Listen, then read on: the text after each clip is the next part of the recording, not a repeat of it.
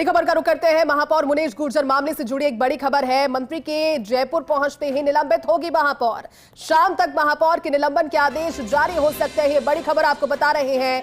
मंत्री ने अपने बयान में कहा, नोटिस के जवाब के बाद निलंबन होगा। महापौर मुनेश गुर्जर ने कल नोटिस का जवाब दिया।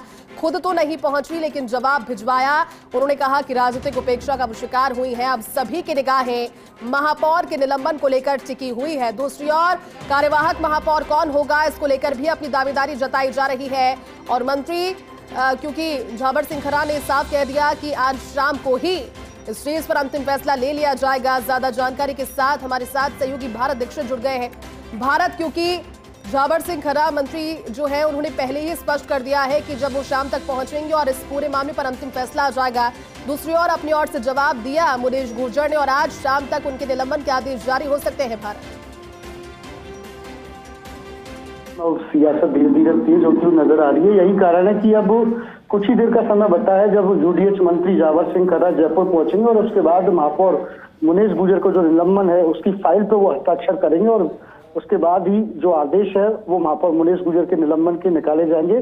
क्योंकि मंत्री यूडीएस मंत्री जावर सिंह खरा ने अपने बयान में कहा था कि नोटिस के जवाब के बाद ही महापौर मुनेश गुजर का निलंबन है वो यहाँ पर कर दिया जाएगा। लेकिन मंत्री की जयपुर में मौजूदगी नहीं थी ऐसे में मंत्री पाली से रवाना हो चुके हैं। और जैसा कि सूचना हमारे पास जो मिल रही है कि साढ़े तीन से चार बजे के बीच में मंत्री जयपुर पहुँचेंगे और उसके बाद तुरंत महापौर मुनेश गुजर से जुड़ी हुई जो फ़ाइल है उस पर हस्ताक्षर यहाँ पर करेंगे। तो कहीं ना कहीं आसार लगाए जा रहे हैं कि शाम तक यानी कि चार से पाँच बजे के बीच में आ, मुनेश गुजर के निलंबन के आदेश है वो यहाँ पर जारी कर दिए जाएँगे। और इसके साथ साथ जो कार्यवाहक महापौर की जो नियुक्ति होगी जो साठ दिवस के लिए सरकार की ओर से होगी।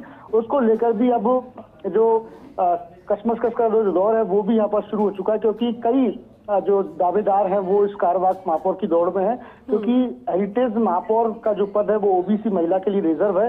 ऐसे में जो ओबीसी महिला पार्षद है उनको ही कारवाक महापौर है वो यहाँ पर बनाया जा सकता है। जिसमें तीन प्रमुख नाम भाजपा की ओर से फ़िलहाल चर्चाओं में बात करें कुसुम यादव की बात करें ललिता जायसवाल की बात करें इसके साथ साथ बरका सैनी की बात करें तो ये तीन नाम बीजेपी की ओर से दौड़ में शामिल है और इसके साथ साथ सरकार इस चीज़ के लिए भी स्वतंत्र है कि किसी भी ओबीसी महिला को हेरिटेज निगम से कार्यवाहक महापौर बना सकती है।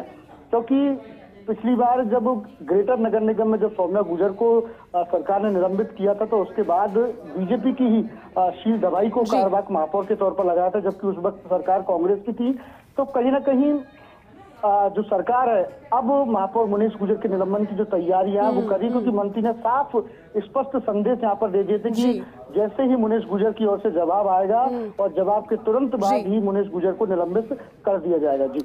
ठीक है भारत नज़र बनाए रखेगा अपडेट आगे भी आपसे लेंगे शुक्रिया अभी इस पूरी बातचीत के लिए और इसी